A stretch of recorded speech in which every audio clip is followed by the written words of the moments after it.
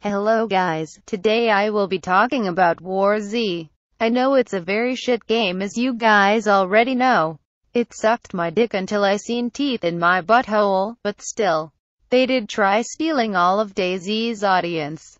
They were excited for the DayZ standalone, but War Z came to steal the motherfucking party. All dem strobe lights and shit, gotta love it, but still. War Z is a shitty-ass motherfucking multiplayer gay zombie game. Just like DayZ standalone but more shit. It's like the Batman games but on LSD and had a drug trip all the way to Mexico. Also, they made the game feel like you have black-ass square dick tires on a bumpy-ass road. All I can say is that the game can eat my mother's black-ass pussy until they die of suffocation. I give it a 10 out of 10 for being so shit, thank you for watching, and goodbye.